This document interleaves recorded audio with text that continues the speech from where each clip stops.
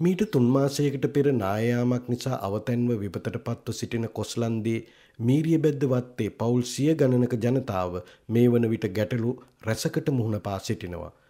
දෙදස්ථාහතර වසරේ නොවැම්බර් විසිනමවින්ද සිදූ මීරිය බැද්ද නායෑමෙන් වතු නිවාස හැටතුනක් කෝවිලක් වෙළඳ සැලක් කිරි එකතු කිරීමේ මධ්‍යස්ථානයක් ඇතුළු ගොඩනැගිලි රැසක් සමගින් තිස් හත් දෙනෙක් පණපිටින් වැළලුණා.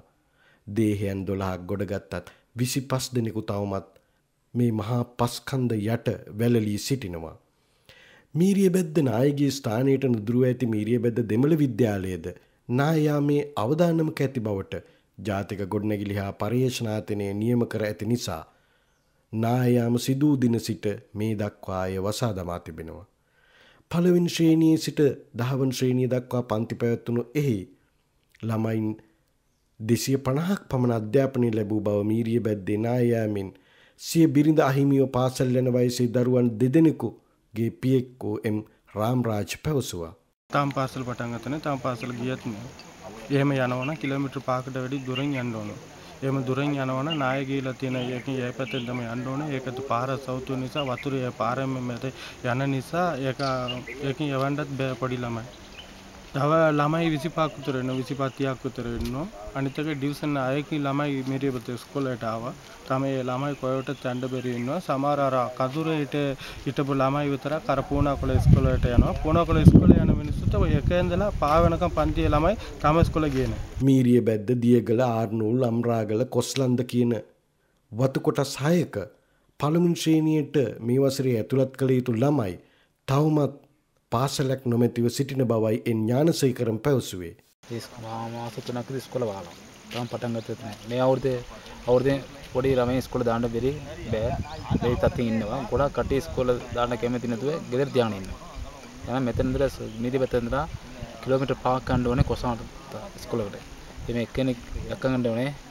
එක්කගන්න මේ ප්‍රශ්න තියෙන නිසා ගොඩක් කටි ඉස්කෝල දාන්න නෑ දාලා නෑ මේ ඉස්කෝල කොමරි පටන් ගත්ත නේද දඬුපනස.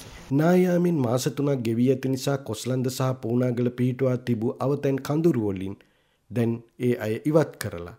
විපතින් බරපතල හානි වූ මීරිය බැද්දේ පදිංචි පවුල් 28ක් වත්තේ වසා දමා ඇති මීරිය බැද්ද රෝහල් ගොඩනැගිල්ලේ රාත්‍රී කාලයේ පසු වෙනවා. දිවා කාලයේදී ඔවුන් වැඩි දෙනෙක් වත්තේ වැඩට යනවා. නායාම නිසා ඉවත් කළ වතු නිවාසවල දහවල් කාලයේ එන තවත් සමහරු අඳුර වැටෙත්ම රෝහල් ගොඩනැගිල්ලට යන බව තිදරු මවක පල්නියන්ඩි සාරදා දේවි කිව්වා. පාසු ගම කිසිම දෙයක් නෑ. ඒකේ වතුර අඩුපාඩු තියෙනවා. කාමරායේම කණ්ණාඩියේම ජன்னලෙම මුකුත් නෑ. දොරත් නෑ. නිකන් මේ තවුඩු ගාලා ඉන්නේ අපි. පොඩි ළමයි ඉන්නවා මං ඉන්නවා. මට තුඹන් ළමයිලා තුන් දෙනෙක් ඉන්නවා.